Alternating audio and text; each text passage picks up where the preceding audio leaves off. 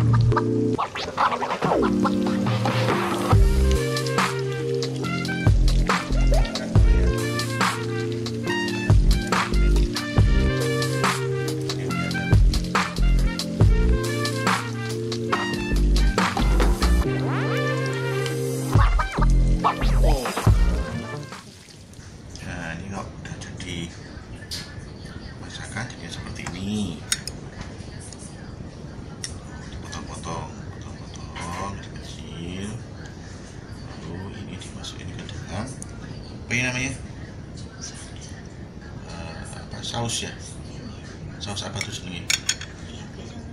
Oh, saus teriyaki sama saus tiram dicampur. Nanti dagingnya dimasukin ke ke ini ke sausnya dulu saya susah juga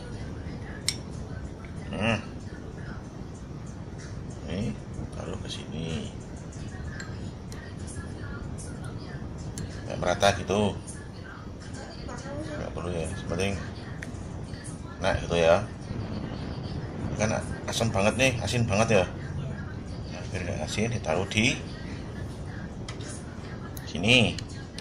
Ini apa sih? Selada. Ya, selada.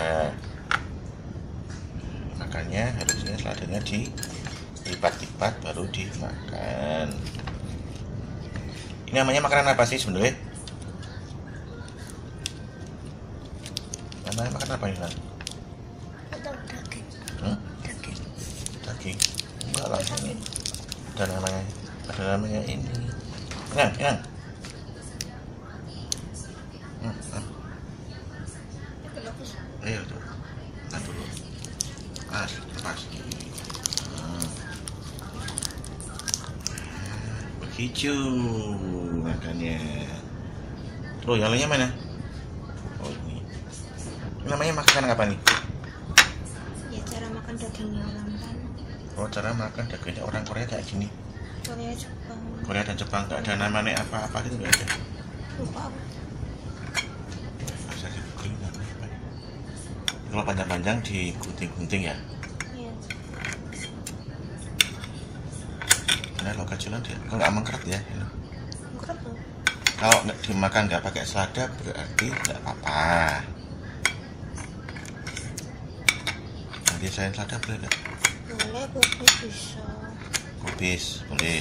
apa ya daun apa gitu Yang penting buat bungkus tadi itu. hmm.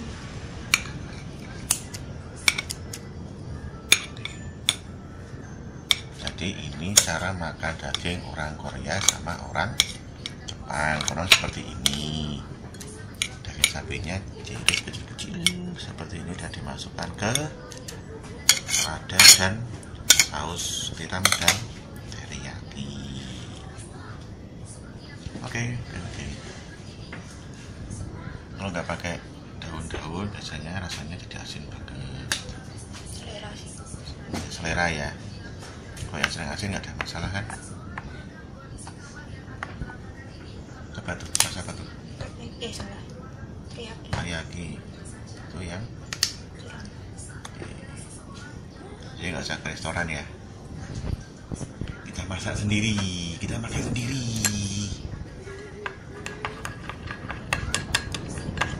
Sama kecap nggak boleh. terserah Tapi aslinya bumbu aslinya cuma ini gitu loh.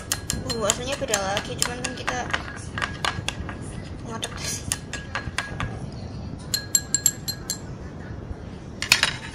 Oke, kita lanjut.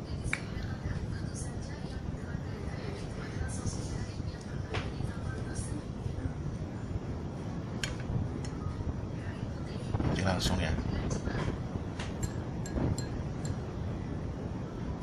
Oh. Oke, kita lanjut makan dulu.